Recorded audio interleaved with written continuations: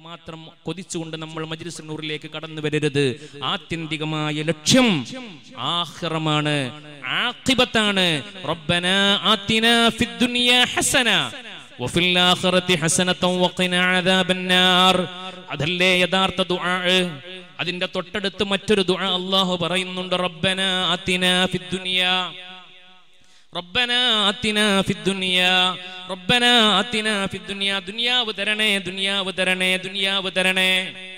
അത് മാത്രം അത് മാത്രമുള്ള ദുഴയാവരുത് അവരെ പറ്റി എന്താ റബ്ബ് പറഞ്ഞത്? വമാലഹു ഫിൽ ആഖിറതി മിൻ ഖലാഖ്. ദുനിയാവ് ചോദിച്ചാൽ ദുനിയാവ് കിട്ടും പക്ഷെ ആഹ്റത്തിലൊന്നും ഉണ്ടാകൂല എന്നാൽ യഥാർത്ഥ മുഅ്മിനിന്റെ ദുആ രണ്ടുമാണ്. റബ്ബന ദുനിയാ ഹസന. അല്ലാഹുവേ ദുനിയാവിൽ സകല ഹസനത്തും ഞങ്ങൾക്ക് തരണം. വഫിൽ ആഖിറതി ഹസന. ആഖിറത്തിലും മുഴുവൻ ഹസനത്തും ഞങ്ങൾക്ക് തരണം. ഇതിന്റെ സ്ട്രക്ചർ നോക്കൂ നിങ്ങൾ ഈ ദുആയുടെ. ഈ ദുഴയിൽ തന്നെയുണ്ട് ദുഴയുടെ അദബ്. എങ്ങനെയാണ് ഒരു മൂമിൻ ദുഴ ചെയ്യേണ്ടത് എന്ന് ഈ ആയത്ത് പഠിപ്പിച്ചു തരുന്നുണ്ട്. ദുനിയാവിനെ പറ്റി ഒറ്റ വചനമാണ് അതിലുള്ളത്. റബ്ബന ഫിദ്ദുനിയാ ഹസന. ആഖിറത്തെ പറ്റി പറഞ്ഞപ്പോ വഫിൽ ആഖിറത്തി ഹസന. വഖിന ആഖിറത്തിൽ എല്ലാ ഹസനത്തും തരണേ എന്ന് പറഞ്ഞാൽ തന്നെ നരകമോചനം പെട്ടിട്ടുണ്ടല്ലോ.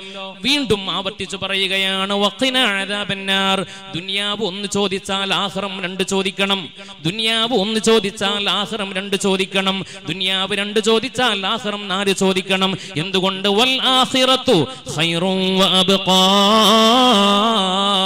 ആഹ്റമാണ് ഏറ്റവും ഉത്തമമായത്. ആഹ്റമാണ് എന്നെന്നും അവശേഷിക്കുന്നത്. അള്ളാഹു നമുക്ക് തൗഫീഖ് തരട്ടെ. നമ്മുടെ മജ്ലിസിനെ അള്ളാഹു കബൂൽ ചെയ്യട്ടെ. ഞാൻ അവസാനിപ്പിക്കുകയാണ്. ഒന്നുകൂടെ ഞാൻ അവസാനമായി വീണ്ടും പറയുന്നു. എല്ലാ ദിവസവും മഹാന്മാരായ ബദരീങ്ങളുടെ പേരിൽ ഒരു ഫാത്തിഹയെങ്കിലും നമ്മൾ വെറുതായിട്ട് കൊണ്ടു നടക്കണമെന്ന് ഉപദേശിക്കുകയല്ല.